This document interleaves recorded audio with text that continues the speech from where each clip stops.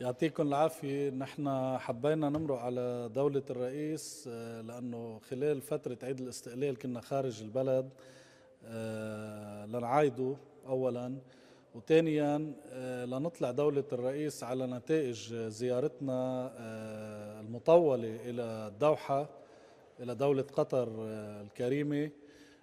وأطلعناه على جولتنا وعلى نتائج الزيارة بملفات اليوم كثير مهمة للبنان على النطاق الاقتصادي على النطاق السياسي وعلى النطاق الاجتماعي.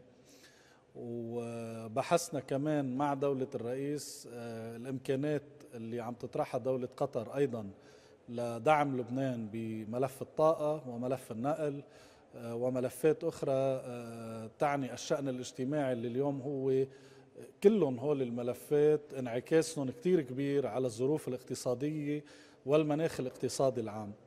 فكانت آه، يعني آه، كلها معلومات إيجابية أطلعنا دولة الرئيس عليها وأبدى كل الدعم آه، هو للمتابعة بهذا الموضوع وأيضا أعطانا كل الدعم لنحن نستمر بمتابعة هذا الملف من خلال اللجنة العليا المشتركة القطرية اللبنانية اللي هي إن شاء الله مطلع العام القادم رح تنعقد آه، آه، وتتابع بكل هذه الملفات. يعطيكم ألف عافية.